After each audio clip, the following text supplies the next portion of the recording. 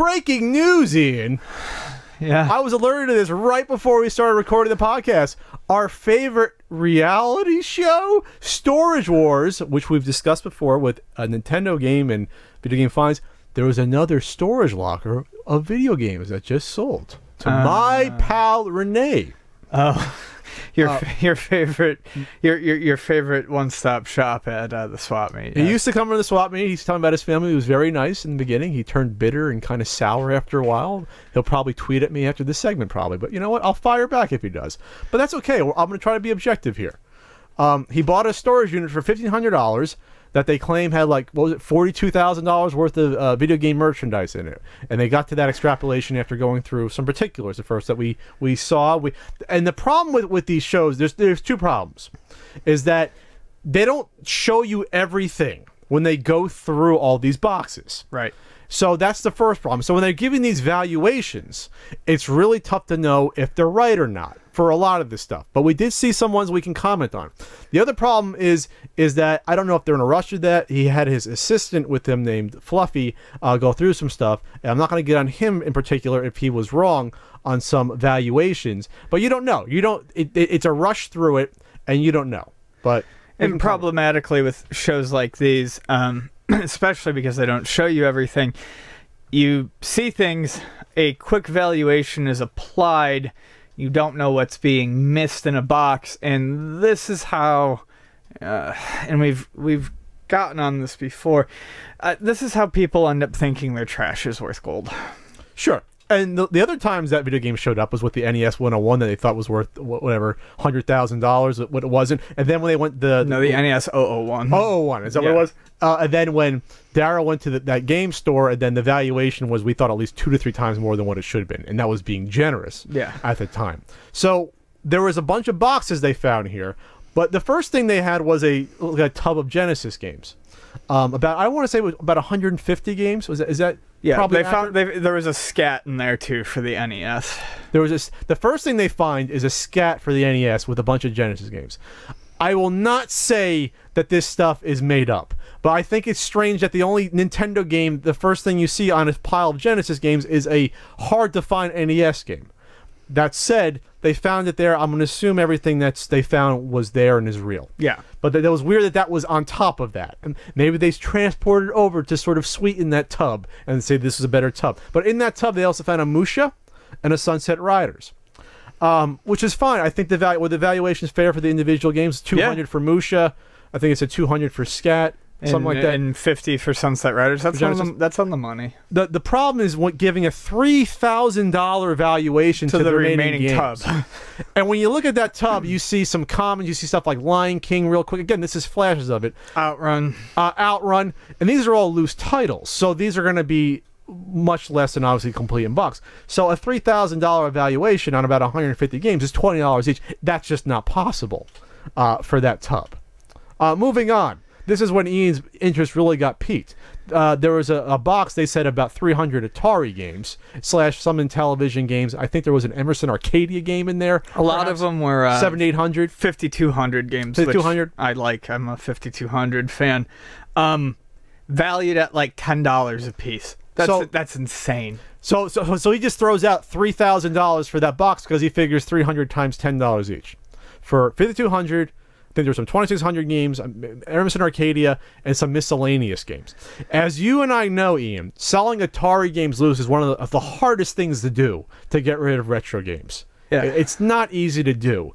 And the higher end uh, titles that are uncommon might reach $10, $20, but the vast majority of Atari games are less than $5. Even if you average it out and there was some supreme rarities in there, you're not hitting a $10 average per game. those 300 Atari games uh, are mo- uh, slash Intellivision, whatever else, are most likely not uh, three thousand dollars. You'd be lucky to get eight hundred dollars, probably. Yeah, it's hilarious because that was actually the quote on the nose that I was about. You're thinking say. about eight hundred. I was thinking about. You get about two fifty each, three dollars, something in that range, and you'd be happy for that. Uh, th- there was a tub of. Uh, we didn't see if there's a TurboGrafx 16 system, but we saw about a stack of ten HuCard TurboGrafx 16 games. About ten, I eyeballed nine Yeah. or ten. We'll just say ten. Or it was valued at five hundred dollars. The one that was visible though was World Class Baseball, which is arguably the least valuable TurboGrafx game after Keith Courage and Alpha Zones. I can't say what was underneath don't it, know. but but even but the fact that they were loose, unless those were all extreme heavy hitters, I I, I you don't know, yeah. but most likely. Mm, I mean, Let's put it this way: if there was a highlight in there that was worth money, and he pulled out a Musha, you think that that person would be like, okay, here's Magical Chase, or you know, here's even uh, I don't know, Parasol Stars, or you know what I mean, or, or something it like would have that. had to have been all stuff like Parasol Stars or shooters. here's here's Time Cruise, or some uncommon ones.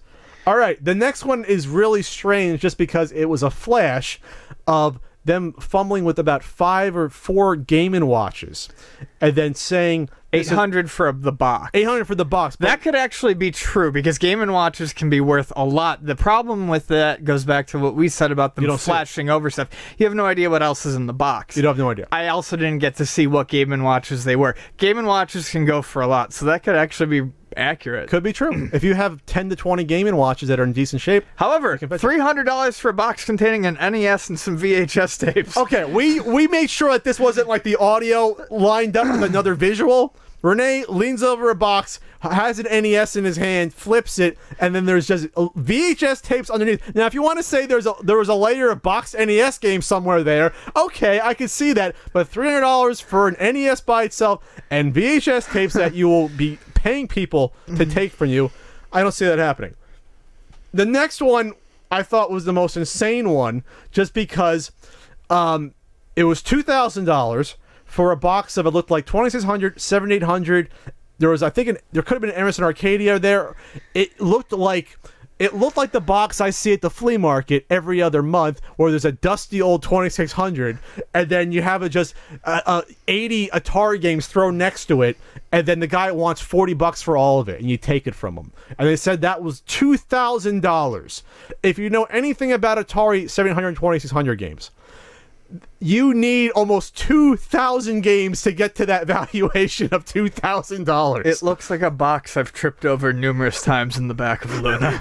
you know you, you know you have your your classics like uh, enduro racer and uh, you know you might get your uncommon one like your spectra uh, video or something in there that's worth like five or ten dollars but unless they're telling us individually this one's worth 50 this is 100 this is $200 for atari 2600 games which there aren't that many uh, especially loose that's not a $2000 box it ain't um, the next one, they said fifteen hundred dollars easy. Again, you don't see. I saw like three Tempest two thousand Jaguar boxes sitting there. Who the fuck knows what's in there? But with the track record so far, I don't know. A Couple other ones. There was a Dusty Turbo Express, uh, two hundred fifty dollars. If it's cleaned up and works, it's two hundred fifty dollars yeah. at this point in time. And then a Bubble Bobble Bubble Bobble two that had some sort of Famicom adapter on I the think bottom it was a Famicom adapter. on and the they bottom. said five hundred dollars for that. Is that accurate for a loose Bubble Bobble 2 this day and age? I couldn't even tell. Well, I'll look it up right now, or a certain NES Guide app could do it uh, for you, but not even close. Okay, so the Because I feel like we sold a, a like a perfect boxed complete one for about that maybe six months to a year ago. that would sound reasonable for one that had the box. So let's see, two hundred and eighty uh, for a real real one, two hundred and eight dollars.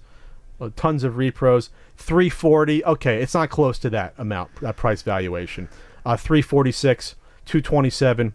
So we're you know if you average it out, we'll just say about three hundred dollars. Yeah. No, I was Okay. gonna say a boxed one. I think uh, the the complete one went for about five hundred. So do you see a danger in these wild valuations? Yeah, like I said, this is what causes.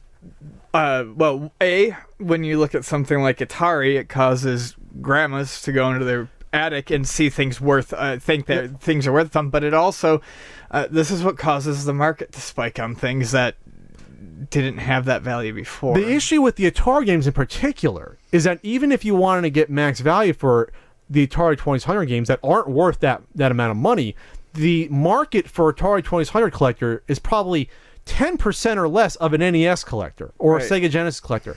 it's so our pals at AtariAge. it's our pals at Atari. Age. Hey, So- AtariAge. So when you're giving these wild valuations that, from my per- from my expertise, Rene, are off for 90% of these. That would even be for pie in the sky if you took your time to collate them, go through them, price them accordingly, and then throw them on eBay with high buy it nows and wait for people to pull the trigger.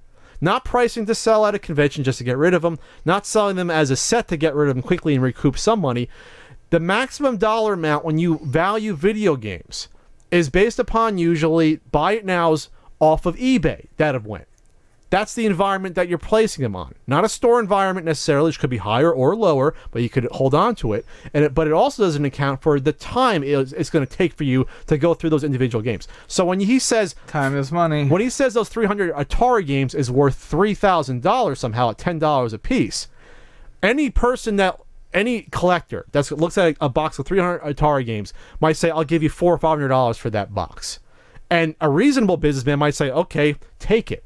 Especially if my investment into this whole unit is only fifteen hundred dollars, now I'm a third of the way uh, recouping that cost. right, exactly. You know what I mean? So th- there's a lot of problems with this. Well, the other problem is too, if, especially if you look at something like Atari. Um, I've noticed two markets for Atari collecting right now. You have 15 and 16 year old kids who think it's just kind of neat, who don't have the money to pay an inflated price on Atari games at you know 10, 15 bucks a piece. They're interested in it because they can get the games for two, three bucks a piece, a dollar. And then you have the people at AtariAge who have the games that they want. So who are you moving them to? And then the other, the the end of it to get the, the total valuation of the entire unit, he said, well, there's 30 more boxes there, like $150 each. That adds like $30,000, whatever the hell he said. We don't know what's in those boxes. We don't know if they're video games because a lot of the other shit they showed were like VHS tapes, some of them. So we have no idea. It could be no more. It but it could could be. be less. I mean, it's just it's a random guess.